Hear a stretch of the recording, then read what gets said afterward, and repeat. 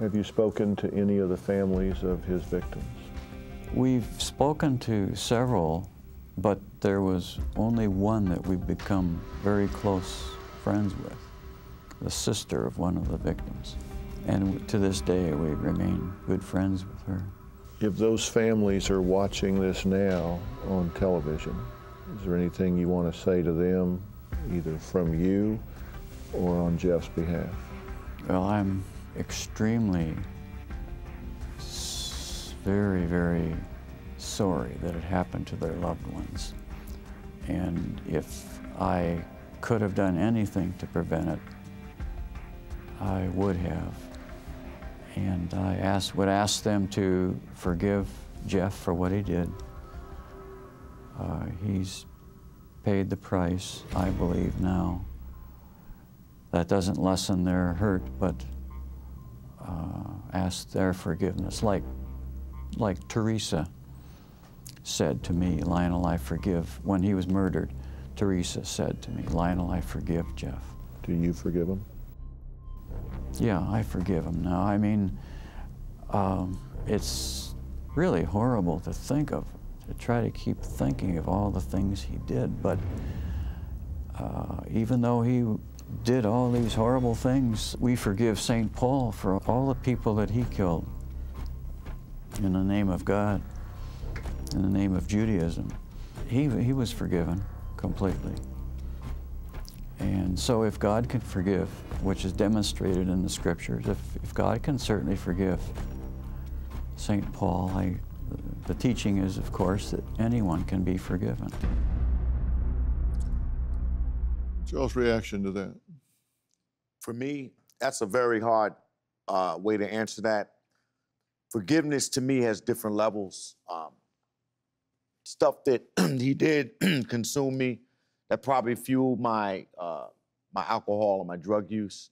But that said, forgiveness is not for so much the individuals, for myself. So to answer your question, no, I don't forgive him, but I don't hate him, if that makes any sense. Mm-hmm. I hate what he did, but it doesn't consume my life anymore because I was basically, you know, locked in that.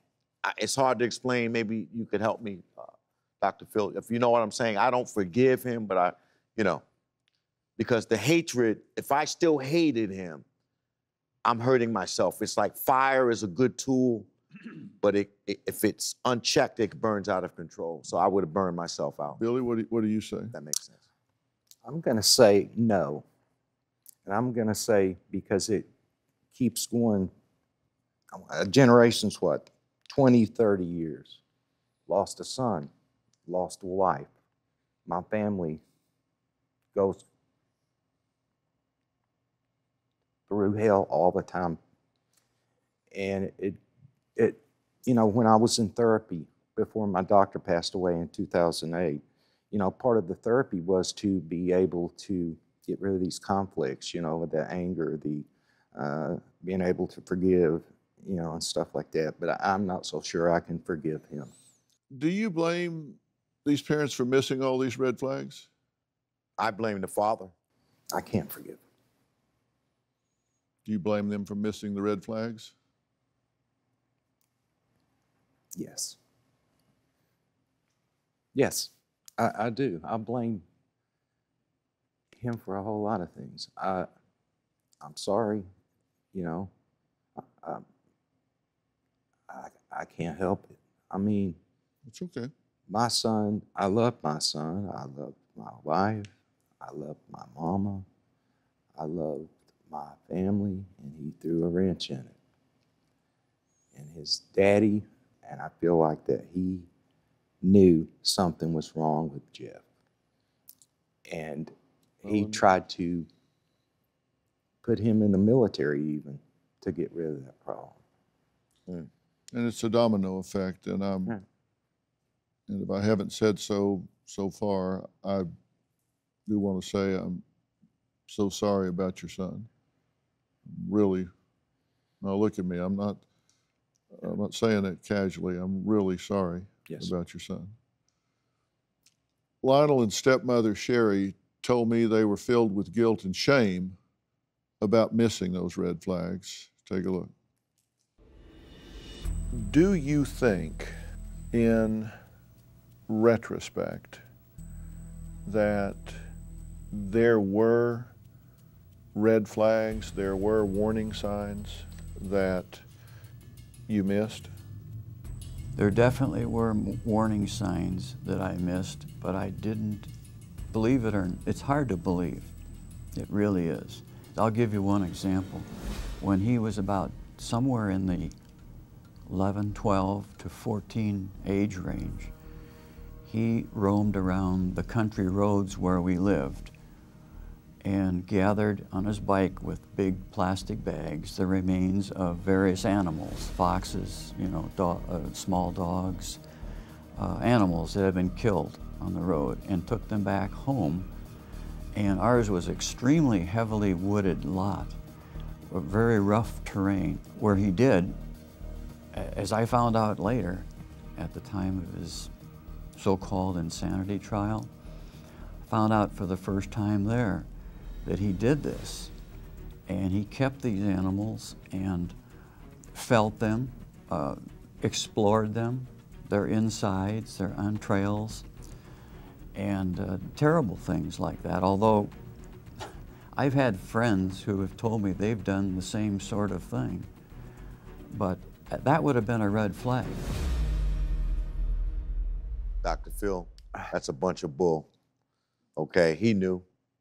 He chose to look the other way. Mm-hmm. There's an old saying you're either part of the problem or you're part of the solution. and then he tries to dismiss it.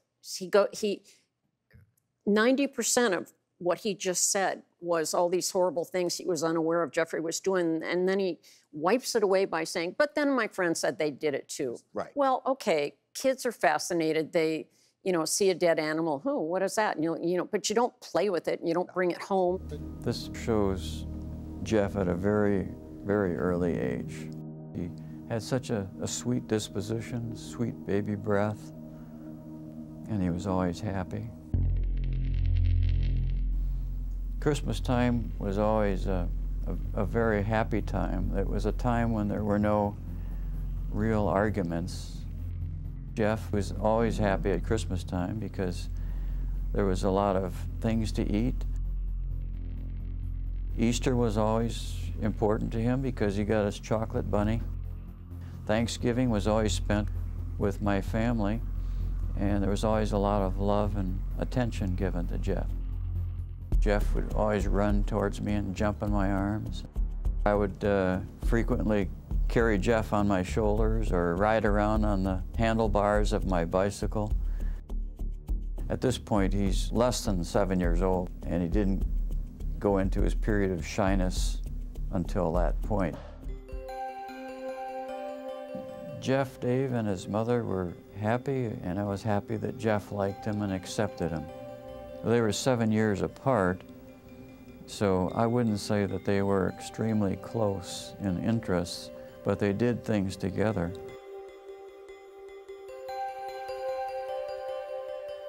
Jeff really loved Frisky.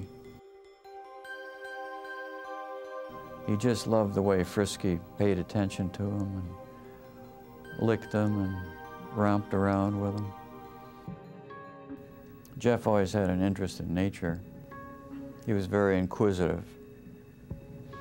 He liked uh, biology class and in school, and we did several things together for science fair.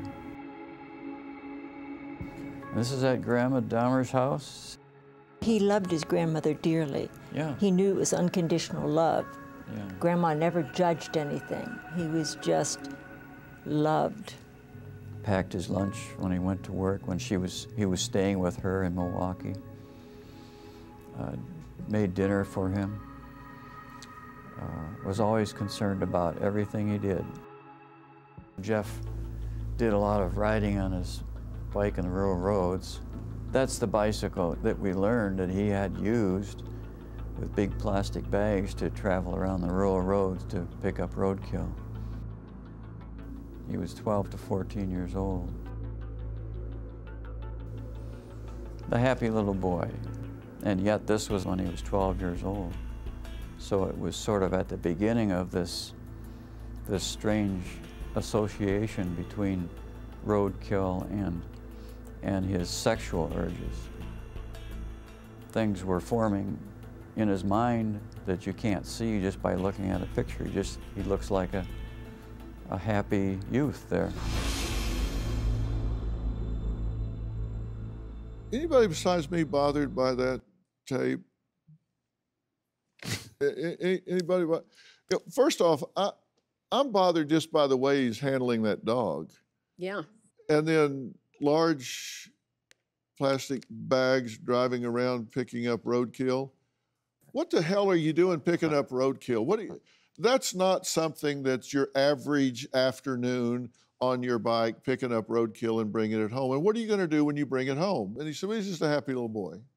That's not a happy little boy's normal activity, right? Is it? No, it's Does not. that ring right to No. anybody?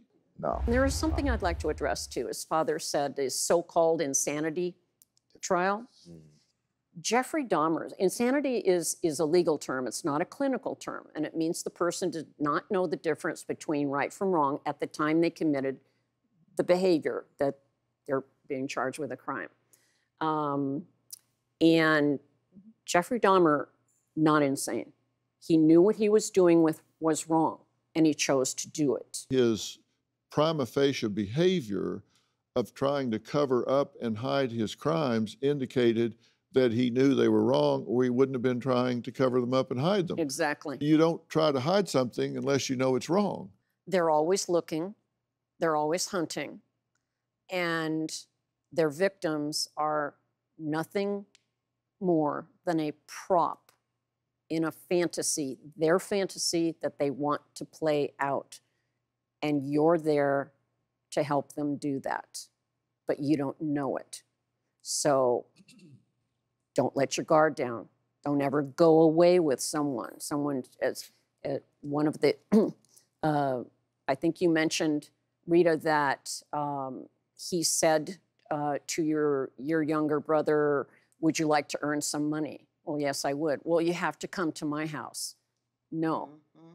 What he was trying to do was get your little brother from an area where he might be mm-hmm. seen to a private area where he could hurt him.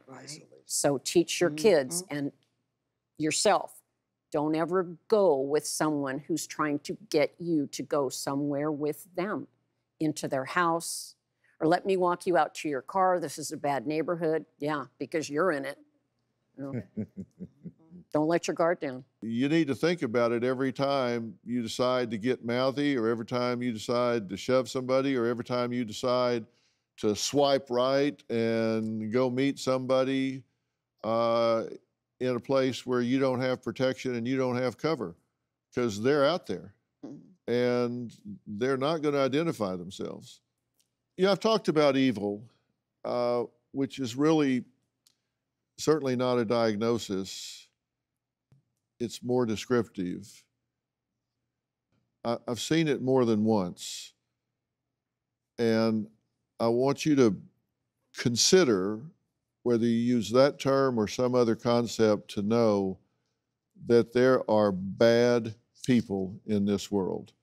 We've been talking about one today, but I want you to have that concept in your mind because how bad people get leverage on good people is a whole concept you need to consider. Tomorrow on an all new Dr. Phil. Most commonly called revenge porn. Private images. Caitlin found out that videos of her, one she says she had no idea was being taken, had been posted without her consent on a porn site. I'm on over 45 websites, five other countries. It's ruined my entire life. Your own mom called and asked if you were doing porn. That was the lowest point for me. Not only was I going to take the site down, I wanted to destroy this guy's life. That's tomorrow. Check your local listings. Do you have a story or a question for me? Click the link in the description and tell me what in the world is going on.